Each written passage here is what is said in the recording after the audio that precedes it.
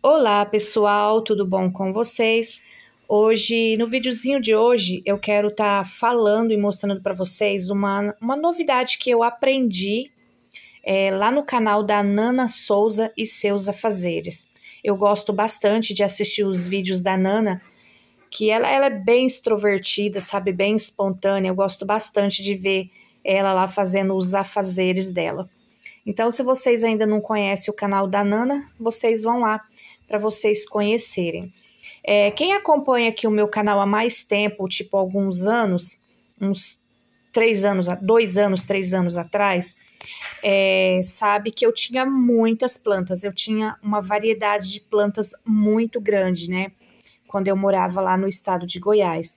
E quando eu me mudei para cá, para o estado de São Paulo, eu tive que desfazer de muitas plantas, tipo 70, 80% das plantas. E eu tinha, eu tinha uma, é, sete, eu tinha sete cores de coleus. Ah, eu amava aqueles coleus. Era um mais lindo que o outro. Então eu tinha sete estampinhas de folha, ó, uma diferente da outra. Mas quando eu vim para cá, eu tive que desfazer, né, gente? Porque não tinha é, como trazer todas as plantas, sabe? Não tinha condições. Eu optei, eu optei é, por trazer os cactos, né? Porque é, os cactos eu eu gosto mais, né? Então, é, eu optei mais pelos cactos. E também são mais resistentes por uma viagem tão longa, né? Mudança assim de estado, né? Mudança de clima. Então, eu optei por trazer os cactos e, e desfiz das, das suculentas e das outras plantas. Então, eu tive que desfazer também dos coleus. Mas, de cada um, eu trouxe um galinho. Eu trouxe um galinho assim, ó, pequeno assim. Eu trouxe mais é, de todos só sobreviveu esse aqui, ó. Foi o único que sobreviveu. Os outros secou, apodreceu. Infelizmente, infelizmente, gente, eu não consigo fazer mudinhas de coleus por galinho, gente. Não consigo, não sei por quê.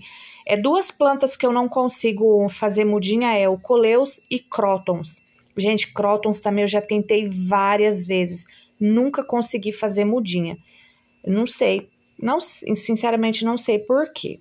Mas aí eu estava lá vendo o vídeo da Nana e ela estava ensinando a enraizar as folhinhas. E assim, eu nunca imaginei que as folhinhas enraizavam, né? Aí eu estava eu estava indo para casa da minha mãe e eu vi um pé desse coleus aqui na calçada. E aí eu lembrei do vídeo da Nana. E aí eu, ó, rapidinho catei uma folhinha. E olha, gente, olha isso aqui. Olha a quantidade, olha o tamanho das raizinhas. Que coisa mais linda, gente. Juro para vocês que eu nunca imaginei que a folhinha dava raiz, gente. Sério mesmo, nunca pensei. E a folha, gente, olha, ela fica perfeita, olha. Olha, vi sozinha, não murcha nada, ela fica perfeita. Olha, gente, que gracinha.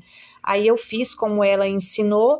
Aí, se vocês querem tá vendo com mais detalhe, assim, vocês vão lá no canal dela, que lá ela explica tudo bem certinho. É o canal da Nana Souza e seus afazeres. Aí lá ela explica bem detalhado. Mas aí eu fiz como ela explicou, né? Coloquei aqui na água, troquei água um dia sim, um dia não. E olha o resultado, gente. Hoje está com 11 dias. 11 dias, olha. Que gracinha, gente. Nossa, eu amei, gente. Amei mesmo aprender essa técnica aqui, ó. Amei. Aí eu já coloquei uma terra aqui, eu vou plantar aqui nesse vasinho e daqui a alguns meses eu atualizo vocês de como vai ficar, se, né, eu, eu mostro para vocês. E subindo a rua aqui da minha casa, tem uma mulher que tem dois pés na calçada. Um eu acho que é igual esse, mas o outro é diferente. Aí a hora que eu passar lá, eu vou catar uma folhinha. Ah, uma folhinha não vai... Ah, uma folhinha não vai fazer muita diferença lá no pezinho dela, não. Olha, gente, que gracinha. Ah, eu adorei. Então, é, agora desse jeito aqui, ó, vai dar para mim voltar a ter a ter vários, né, gente? Porque por galinho eu não consigo. Por galinho eu já tentei várias vezes e eu não consigo. Olha que lindo que tá esse, gente. Nossa, é como diz a, a Vilma Galvão, né? É, passou aqui o pincel de Deus. Olha, gente, que gracinha, gente. Ah, eu amo esse essa espécie de plantas.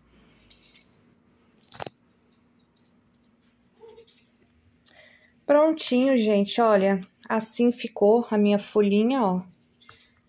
Agora eu vou deixar ela aqui dentro da varanda, porque aqui na minha região tá chovendo muito, gente. Muito, muito, muito. Inclusive, eu ia até fazer um cacto ali, é, fazer um cacto, fazer um vídeo limpando meus cactos, mas, gente, a chuva aqui não tá dando trégua, não. Não tá dando esse final de semana, choveu todos os dias, todos os dias. Olha, gente, então ficou assim, ó. Ficou assim a minha mudinha. Olha, gente, que gracinha, gente. Muito fofo, né?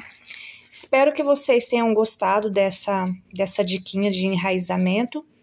Se você gostou, não esqueça de deixar um like, deixar um comentário bem bacana. Um beijo enorme no coração de todos, fiquem com Deus e até o próximo vídeo.